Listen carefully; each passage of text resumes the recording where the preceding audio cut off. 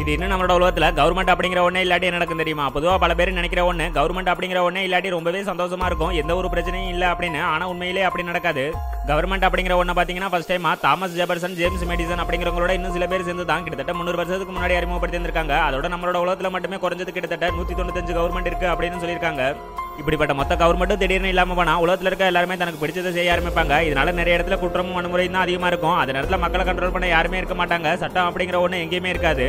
அதோட ராணுவம் எஜுகேஷன் டாக்டர்ஸ்னு எல்லாமே குறைய ஆரம்பிச்சிருக்கும் இதெல்லாம் இருக்க பணம் அப்படிங்கிற ஒன்று சுத்தமாவே இருக்காது. உணவுக்காக பண்ட மாற்றமே தான் செய்ய ஆரம்பிப்பாங்க. ஏற்றுமதி இறக்குமதி அப்படிங்கிற முக்கியமான ஒன்றே இல்லாமல் போறதோட பாதுகாப்பு அப்படிங்கிறது ரொம்பவே குறைஞ்சிருக்கும். அதோட நிறைய இடத்துல தனக்குன்னு பல ராஜ்யங்கள் உருவாக ஆரம்பிச்சிருக்கும் இப்படிப்பட்ட ஒன்றை பத்தி ரிசர்ச்சர்ஸ் என்ன சொல்லியிருக்காங்க அப்படின்னா கவர்மெண்ட் அப்படிங்கிற ஒன்று மட்டும் இல்லாட்டி நம்மளோட மொத்த உலகத்திலேயும் அமைதி அப்படிங்கிற ஒன்று சுத்தமாவே இருக்காது அப்படின்னு சொல்லியிருக்காங்க.